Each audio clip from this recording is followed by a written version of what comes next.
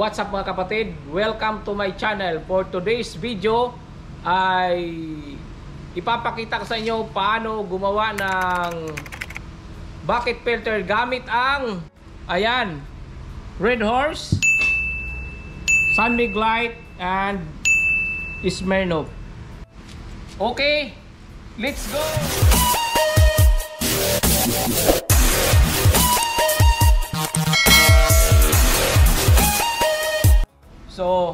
Mga gagamitin natin syempre, una-una, ang gagamitin natin ay ang glass. So, ang size ng bucket filter natin ay 24 by 14 inches by 12 inches. So, mamaya, ipapakita ko sa inyo kung paano ko to ikabit. Ayan, so abangan nyo. Okay? Sa ngayon ay assemble muna natin ang ating pinaka-base o yung bucket filter natin. Okay, umpisa na natin. Let's go!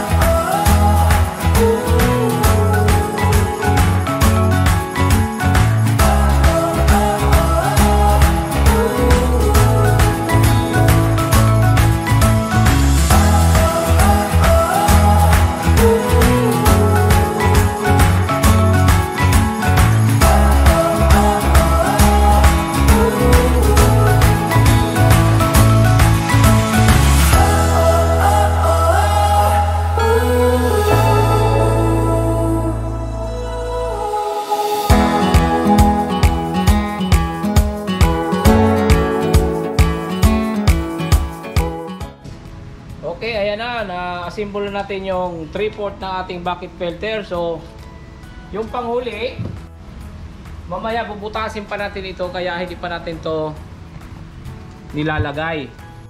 So, ito na mga kapatid ang gagawin natin na labasan ng tubig, yung exit mula dito sa ating bucket filter. So, gagawin natin, puputulin muna natin to isa-isa. Okay? Pisa na natin. Let's go! Okay,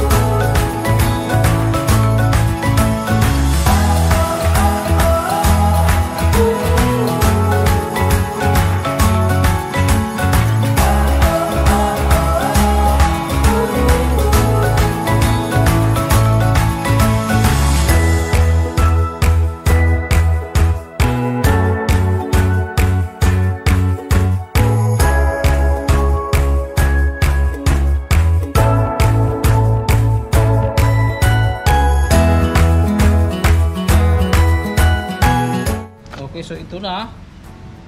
Gagawin natin. Lalag lalagyan natin to ng gasolina. Para safe tayo, mas maganda doon lang tayo sa labas magputol nito. Okay? Tara, let's go!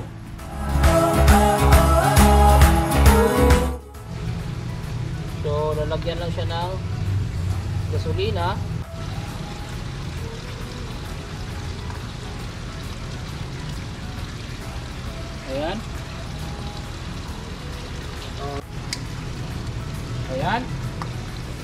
Antayin natin hanggang mamatay yung apoy. Okay. So, putol na ngayon ang light. So, next natin, Smirnoff. Okay.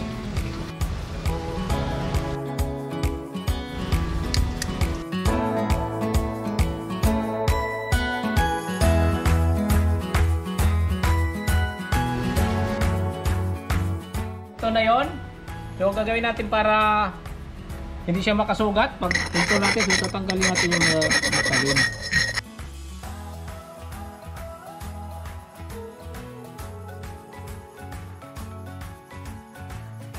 So, next na gagawin naman natin, ito na.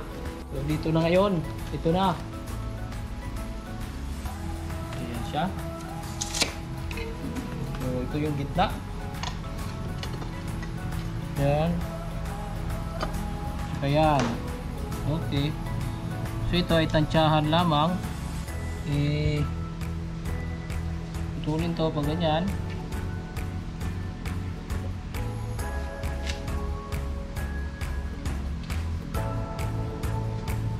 Yan.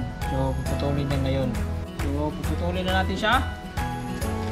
Ganito lang kasimple. simple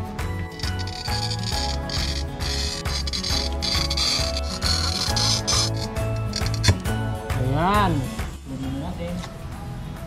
So, ang pagpuputol ay 50-50 yan. Minsan napuputol, minsan nababasag. Kaya, kailangan maingat at dahan-dahan.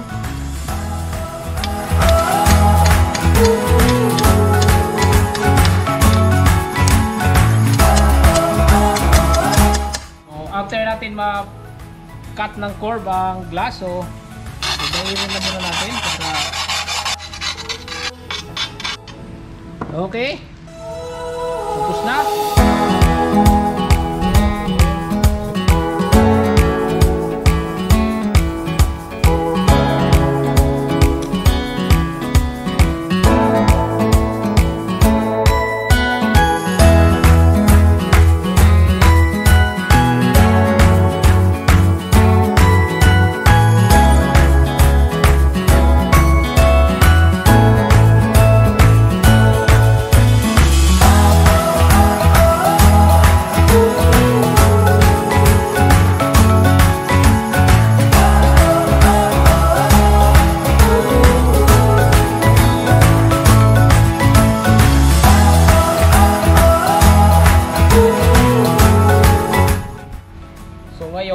Lalagyan na natin ng brace para hindi siya malaglag sa bigat. So ito, okay, lagyan na natin.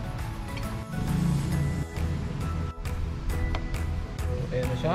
Para lalo siyang tumibay, lagyan naman natin siya ng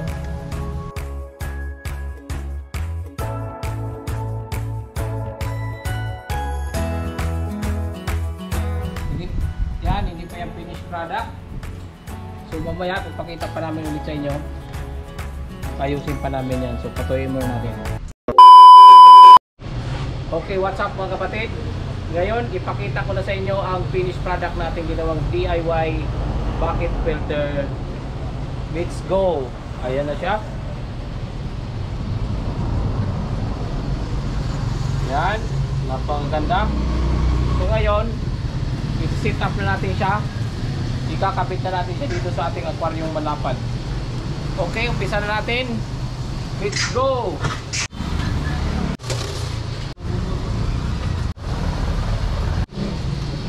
So ngayon lalagyan na natin siya ng ah so nilalagay natin ay ang deep corals so nilagay natin siya sa screen para mas madali siyang tanggalin kung lilinisan natin siya. So, pero syempre meron na tong drainage para if ever hindi pa masyadong madumi, dito na natin i-exit ang tubig. So, syempre meron tayong ah ito lava ring. Ayan, lava ring pa rin. Ayan. So ito naman yung filter foam na ilalagay natin sa taas. Para ito yung lagi natin set.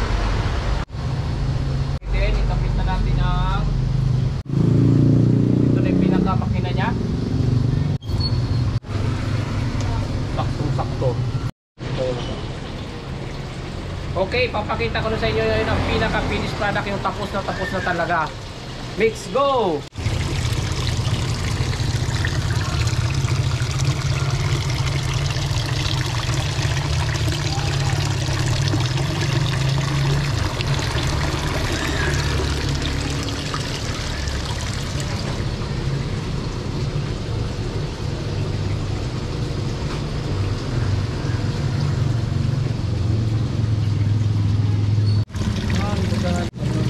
Okay, that's all for today. Thank you and mabuhay. Bye-bye.